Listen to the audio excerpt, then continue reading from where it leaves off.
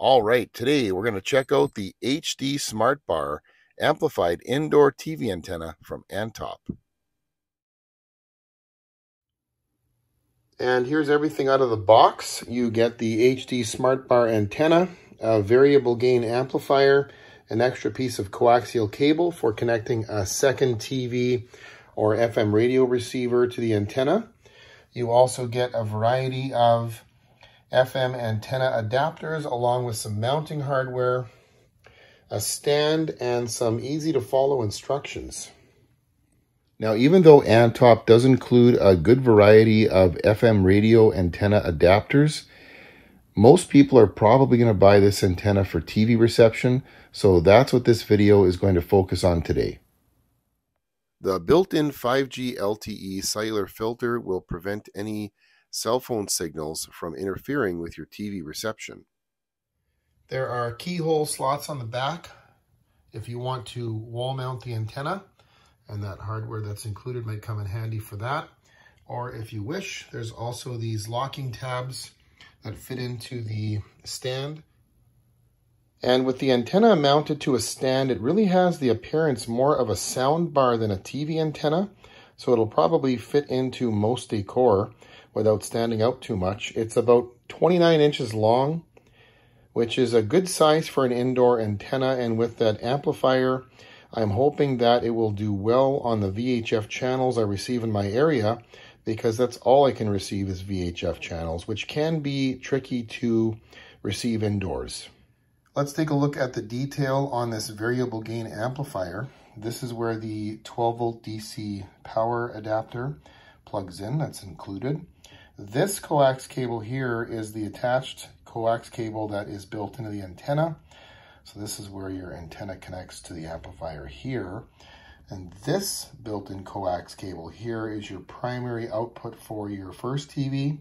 And this second RF output here can be used for another TV, a digital converter box, an FM radio receiver, or any other over-the-air device that has an ATSC tuner already built in.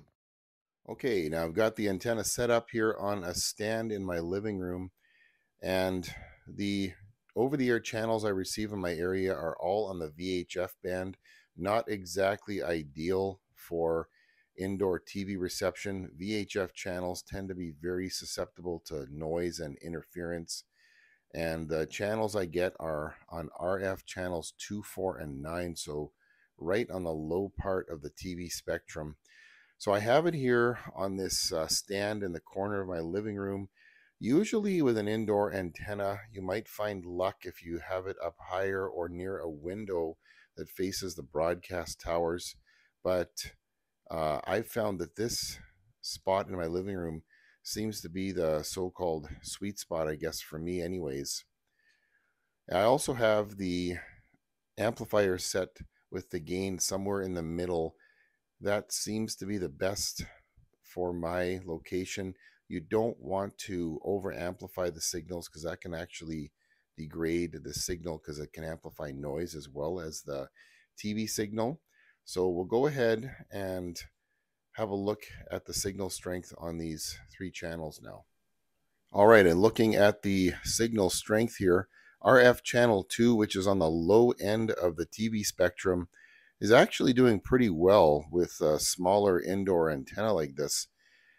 The uh, picture is stable, no glitching, no pixelation, and it's hovering right around 50%, which is really good for VHF channel 2. Channel 4, though, this is definitely not a sweet spot for channel 4.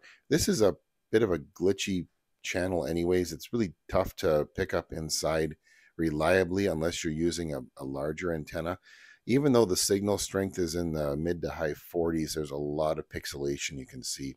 The real winner here is RF channel 9. Not a surprise, this channel is broadcast with a little more power, plus the fact that it is in the middle of the high VHF band. That's really what this antenna is made for is channels 7 through 36, high VHF and UHF TV reception. So the signal is uh, pretty stable in the 60s and even touching into the 70s. Not a surprise there. Most indoor TV antennas nowadays are optimized for reception of RF channels 7 through 36. Low VHF indoor reception is really either an afterthought or a big bonus in most cases. Some general conclusions about the Antop HD Smart Bar indoor TV antenna.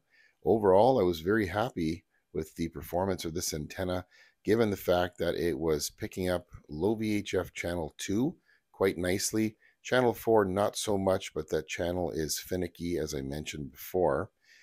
And channel 9, the antenna did a great job with that, and that's really a sign that this antenna is made for the high VHF and UHF TV bands, RF channels 7 through 36, which is where most broadcast channels lie nowadays, anyways.